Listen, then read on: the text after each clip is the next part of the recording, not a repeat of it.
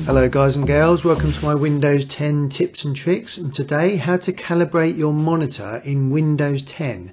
Now don't worry, once you've done all of the settings in this video you can go back to your previous settings or save the current settings. So what you need to do is down in the search bar on the bottom left type in calibrate C-A-L-I-B-R-A-T-E and then click on that option calibrate display settings. And it just says in here how to improve your display settings.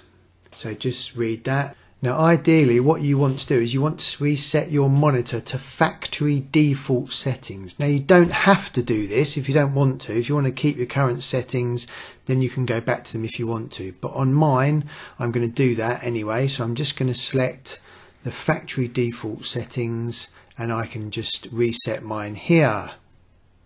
So I've reset mine to factory default and now we can continue. So click on next and first of all, we've got the gamma settings. Don't make me angry, you wouldn't like me when I'm angry. Gamma radiation. Right, so what you've got here is you've got this slider. So you slide this up and down. And what you want is you want to not be able to see these small circles in the middle of all these larger circles. So just find a setting on your monitor that works for you. Obviously it's difficult because you're on your monitor, I'm on my monitor, so it's going to look completely different. This is just to give you an idea of what happens. So now we're going to do the brightness and the contrast adjustment. Again, now click on the next. You can skip that if you want to, but I would advise not to. So what we're looking at here, um, we've got a picture of a man's dark black shirt Click on the menu button on your monitor and now adjust it on the actual monitor settings. So on your brightness settings, just move that up and down until you get a really nice um, brightness setting on that shirt.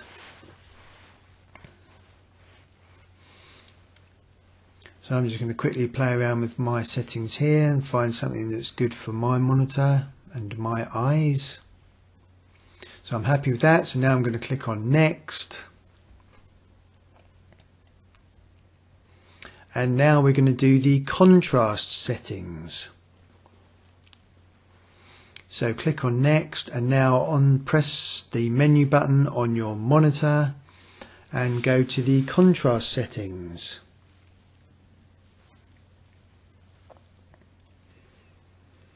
So I've now on the monitor settings So I'm going to select the contrast.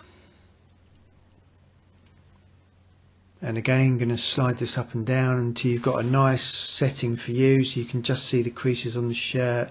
You've got some good contrast there. Again, it's going to look different on your monitor. So just select what looks good for you. And then click on next. And now we come to the grey settings.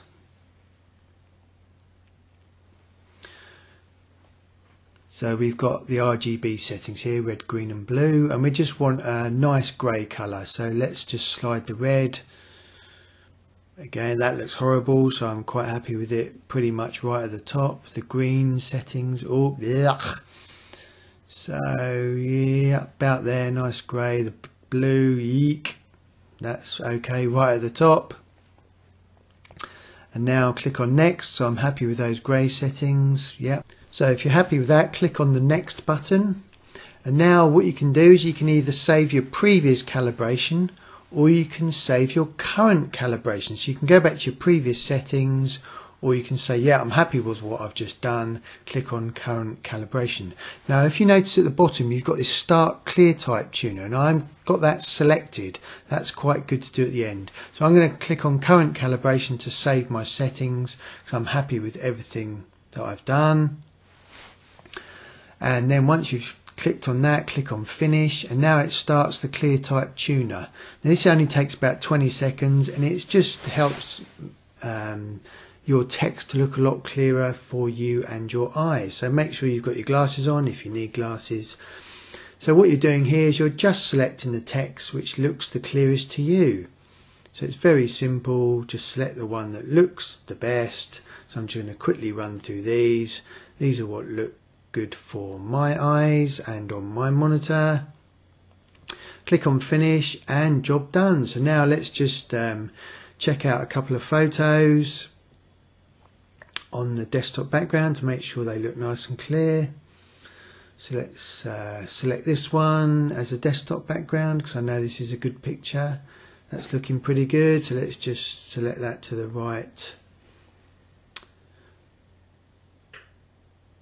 Settings. So let's click on fit. And lovely, that's looking crystal clear clarity. That's the end. Thanks for watching, guys and girls. Hope that's helped somebody out there.